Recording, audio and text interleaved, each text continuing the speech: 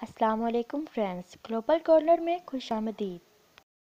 Please subscribe my channel and press the bell icon. Viewers, आज मैं आपको drama serial Munafiq के नेक्स्ट एपिसोड का प्रोमो बताऊँगी। नेक्स्ट एपिसोड के प्रोमो में दिखाया जाता है कि सबिया बेगम पहुँच जाती हैं उजाला के घर और उसकी माँ से कहती हैं, आपने अभी तक मेरी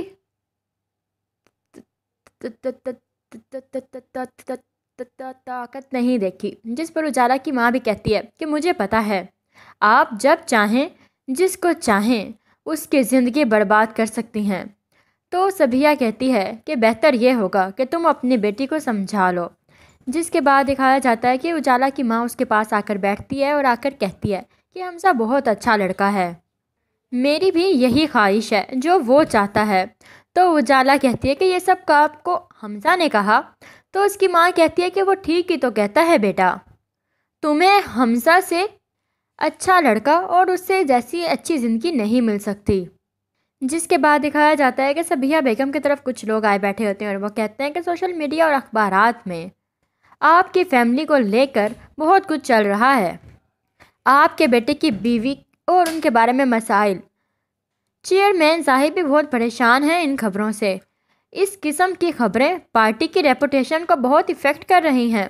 जिसके बाद दिखाया जाता है कि सोबिया अपनी सास और अरमान से कहती है कि इसका कोई हल निकालें, वरना हम कहीं मुँह दिखाने के काबिल नहीं रहेंगे।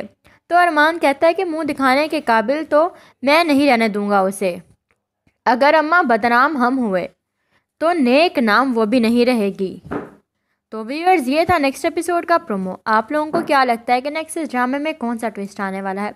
व्यूअर्स नेक्स्ट यही दिखाया जाएगा कि प्रेस के सामने जब उजाला अपनी सफ़ाई पेश कर रही होगी तो वहीं पर अरमान भी आकर कहेगा कि ये अपने इस यार के साथ मिली हुई थी और मैं अपना बच्चा इस औरत को दे दूँ, जिसका किरदार ही ठीक नहीं।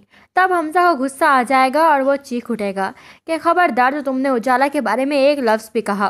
वीवर्स आप लोगों को क्या लगता है कि क्या उजाला और हमजा शादी कर लेंगे? अपनी कीमती राय का इजहार कमेंट सेक्शन में ज़रूर कीजिएगा। हमारी वीडियो पसंद आए तो लाइक करें और हमारे चैनल को सब्सक्राइब करें। Thank you.